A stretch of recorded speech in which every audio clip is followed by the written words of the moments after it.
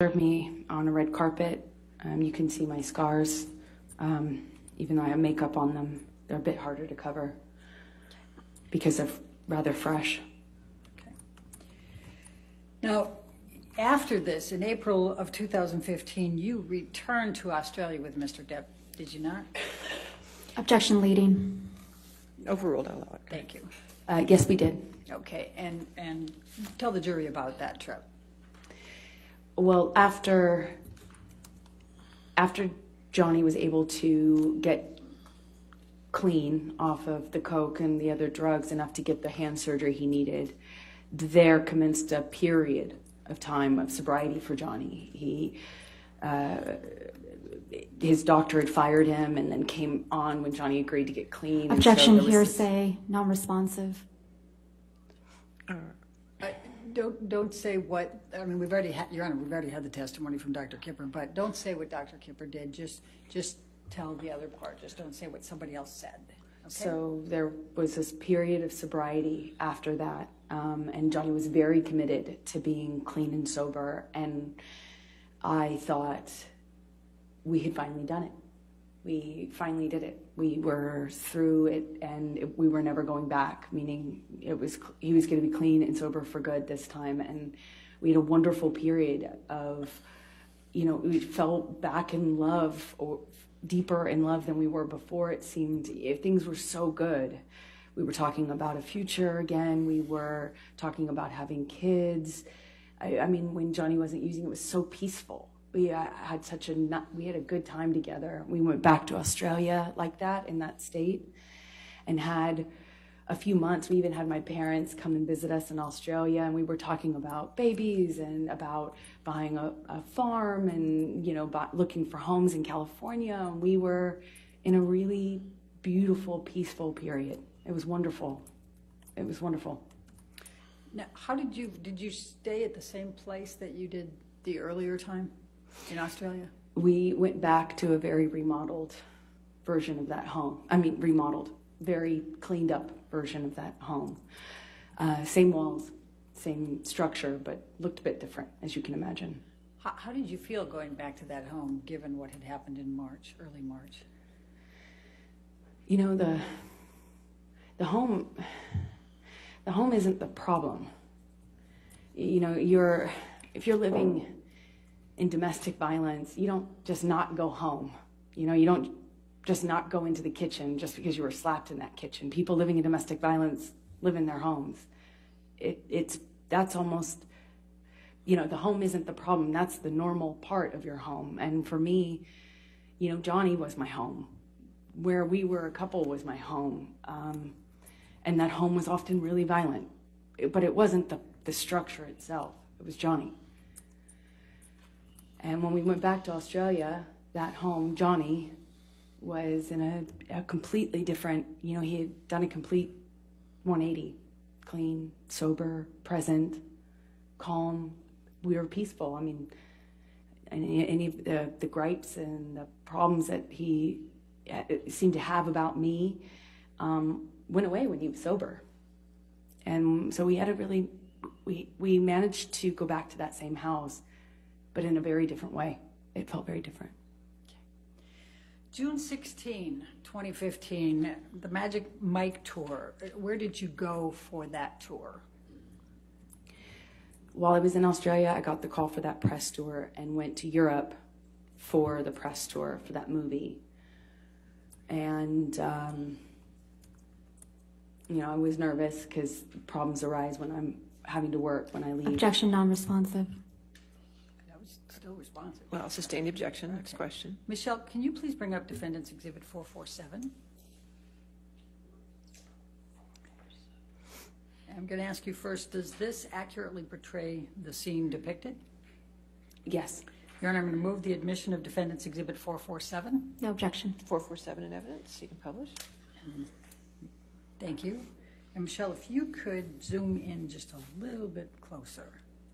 Amber, could you tell the jury about this picture? Uh, yes, that's me on the red carpet um, promoting the Magic Mike movie I was in. Um, you can see the scars on my body, on my arms. Okay. You can't see everything, of course. But Okay. And d- Michelle, can you bring up Defendant's Exhibit 449?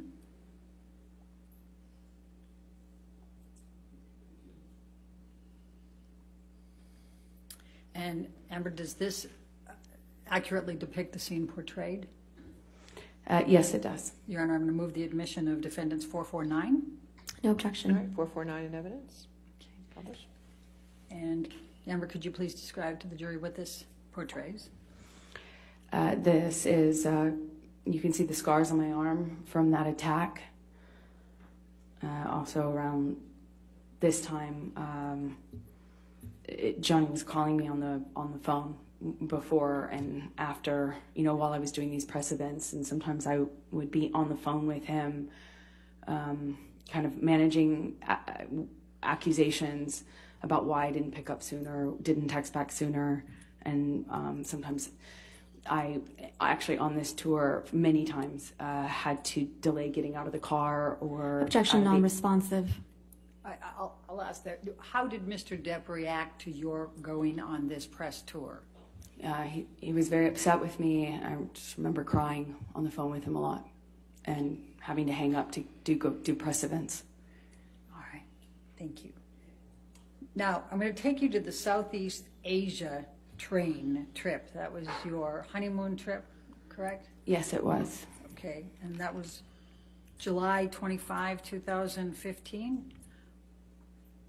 Yes, No. it was. Okay. Michelle, I'm going to ask you to bring up Plaintiff's Exhibit 162. It's already into evidence. Now, Mr. McGivern testified that he took this picture in July of 2013. Would you agree with that? Objection misstates prior testimony. I- That's exactly what he testified to. It was It Malcolm. wasn't. It I- wasn't. I I have the transcript. I, I don't know. Go ahead and ask your It's question. Mr. McConnelly. I- Is that, is that correct? Uh, I believe I, I believe Malcolm Connolly took this on s- on the Eastern. I mean, on the Orient Express. Malcolm Connolly, not Travis McGivern? I believe it was Malcolm on that trip with us. Yes, Okay, and was it in 2013 or was it 2015? it was in 2015, Okay. July. And please describe, if you can, what transpired during this trip. Well, the uh, the train trip itself uh, was was peaceful um, up until Johnny wanted to start drinking brown alcohol. He had already started drinking champagne when I returned from the press tour. That's what he was. He was drinking wine and champagne.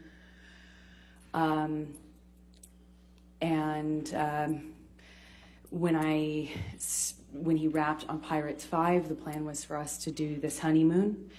I you know was walking a bit on eggshells because I know a pattern, but I was not wanting to accept that it was that we had gone back um, to a pattern at all. And so we were on this train, uh, and on the last night we were on the train.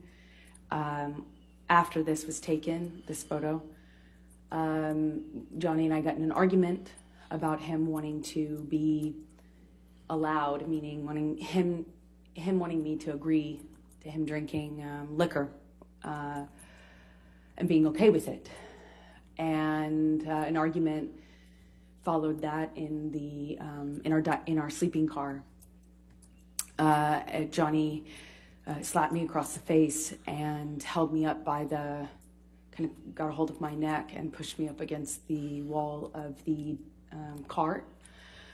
Uh, uh, it was a small, a narrow sleeper cart, and there were two beds, one on each side. He had me up against the wall um, while he was standing on the floor in between the beds, and I was on the bed, kind of half kneeling, half standing, trying to get his arms off my neck. And he was squeezing my neck against the railway car for what felt like a very long time. And every time he kind of would pull me away from the side of the car, he'd slam me up against my slam me up against the wall. And I remember looking down at him and trying to get his arms off of my neck. Uh, and I remember thinking that he could he could not even mean to kill me. You know, I remember being scared that he wouldn't even mean